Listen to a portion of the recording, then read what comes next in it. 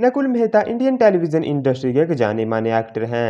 ये काफ़ी समय से टेलीविज़न इंडस्ट्री में एक्टिव हैं। तो चलिए जानते हैं नकुल मेहता अब तक किन किन टीवी शोज़ वेब सीरीज़ और मूवीज़ में नज़र आए हैं।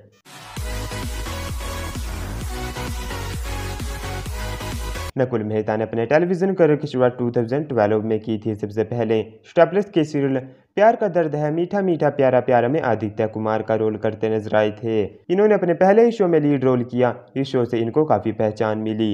इसके बाद ये स्टार के ही सीरियल इश्कबाज में शिवाय ओबरोय और शिवांश ओबरोय का रोल करते नज़र आए। यह नकुल मेहता का अब तक का सबसे पॉपुलर सीरियल है। इश्कबाज के ही स्पिन ऑफ़ शो। दिल बोले ओब्रोय में भी इन्होंने शिवाय का ही रोल किया। सोनी टीवी के शो बड़े अच्छे लगते हैं। सीज़न टू में इन्होंने राम कपूर की भूमिका निभाई है। इसमें भी लीड रोल करते नज़र आते हैं। Nakul Mehta India's got talent नामक शो होस्ट कर चुके हैं। इसके अलावा लिप सिंह बैटल में एज ए गेस्ट नज़र आए थे।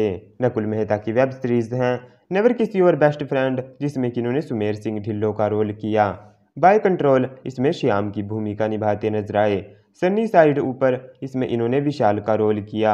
इसके अलावा आई डोंट वॉच टीवी में भी नज़र आ चुके हैं। नकुल मेहता की मूवीज़ हैं, हाल ए दिल, जिसमें कि इन्होंने शेखर का एक अहम किरदार निभाया था। ये वेद एंड आर्या में भी नज़र आए, जो कि एक शॉर्ट मूवी थी। इसके अलावा अभिमानी में भी काम कर चुके हैं यह एक तेलुगु फ़िल्म थी। तो ये है नकुल मेहता के अब तक के सभी टीवी शोज़ वेब सीरीज़ और मूवीज़ की लिस्ट आपको इनका कौन सा सीरियल पसंद है? हमें बताइए नीचे कमेंट सेक्शन में इस वीडियो को लाइक कीजिए और चैनल को सब्सक्राइब कीजिए।